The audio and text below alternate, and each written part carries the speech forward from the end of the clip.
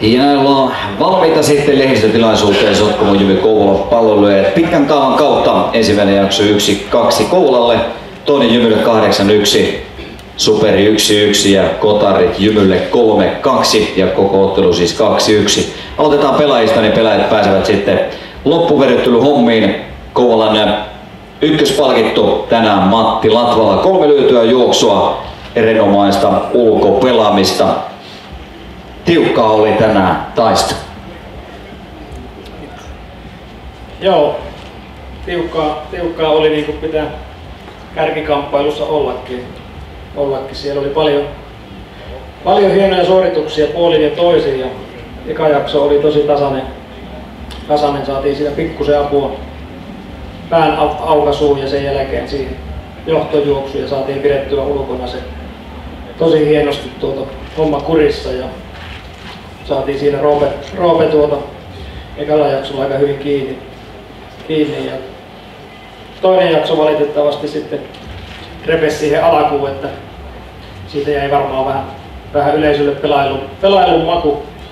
Olisi ollut mukava tarjota siihenkin kunnon, kunnon jännäri, mutta Superi ja Kotari oli sitten tiukkaa, tiukkaa vääntöä ja olisi voinut kääntyä kummin päin vai ja valitettavasti tänään tuota näin päin. Mutta mahtava ottelu kaiken kaikkiaan yli 3000 ihmistä ja niin kuin sanoitkin, niin aivan huikeita suorituksia puoli ja toisin. Tästä on varmasti kuitenkin hyvä jatkaa, vaikka voitto jäikin saamatta. Piste kuitenkin.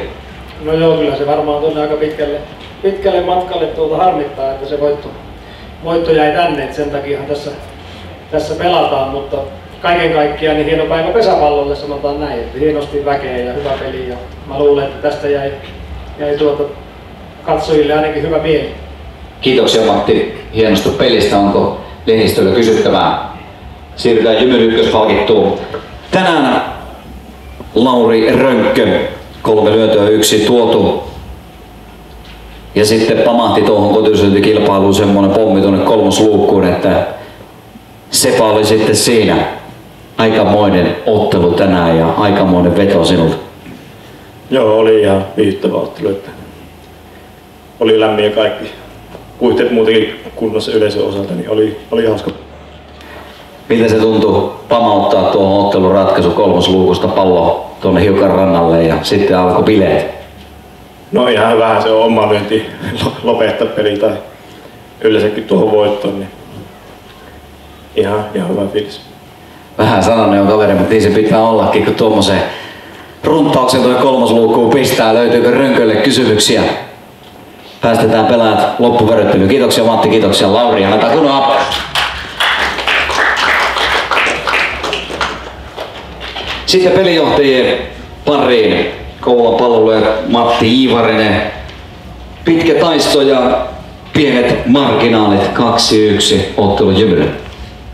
No toisella jaksolla ei hirmu pieniltä marginaalit tuntunut, että, että se oli sitten, sitten tuota niin menoa ja, ja pojat löi, löi hyvin ja siinä ei ollut niin mitään sanomista, mutta ensimmäisellä jaksolla pystyttiin mun mielestä kohtuullista ulkopeliä pelaamaan ja, ja peli pysyi tiukkana ja, ja kääntyi se eka jakso, jakso meille ja, ja tuota, niin, sitten tietysti harmittaa raakasti tuo kotituslyöntijuttu, että, että se niin läpilyöntiin päättyy, mutta että homman nimi on se, että pitää uskaltaa kuitenkin sitten, sitten pelata ja, ja silloin voi, voi käydä tuollakin tavalla joskus. Ja, ja tuota, niin, se oli mun mielestä yleisölle varmaan hyvä, hyvä peli ja, ja tuota, niin mun mielestä se oli meillekin kuitenkin sillä tavalla hyvä peli, että, että se meni, meni tiukaksi ja, ja tuota, niin se oli niin kuin sitä varsinaista touhua, mitä tässä sitten pikkuhiljaa otellaan.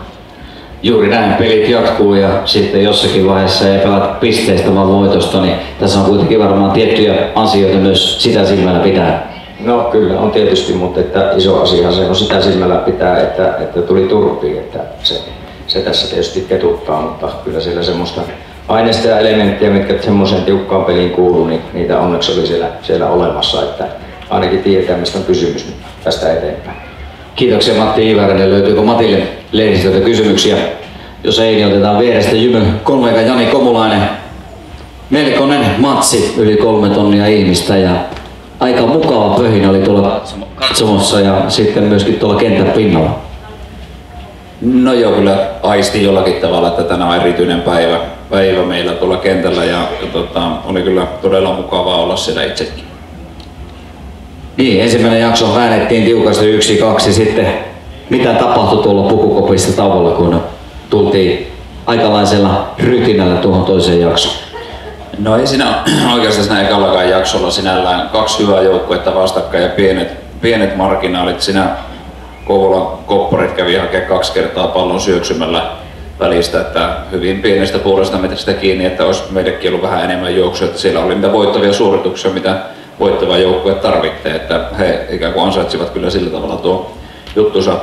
Meillä tota, siinä ei niin hyvin pyörinyt ensimmäisellä jaksolla tuo peli, että Roope jouttiin käyttämään noihin tilanteiden rakenteluun enemmänkin kuin sitten kotiuttamiseen. Ja sitten toisella jaksolla niin lähti oikeastaan niin hyvä, hyvä aloitus, se aina niin johtaa hyviin asioihin. Että ei meidän mitään ihmeellistä meidän tarvinnut tulla, tuolla tauolla tehdä tai puhua. Että kyllä tämä joukko on joskus aikaisemminkin sanonut, että tämä haluaa voittaa ja ei halua tyytyä siihen, että peli vaan menee ohi noin vaan. Ja kyllä jokainen ihan itse tekisi tuolla kopissa.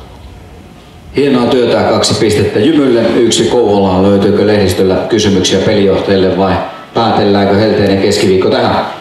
Kyllä päätellään. Kiitoksia, lehdistötilaus on päättynyt. Kiitos.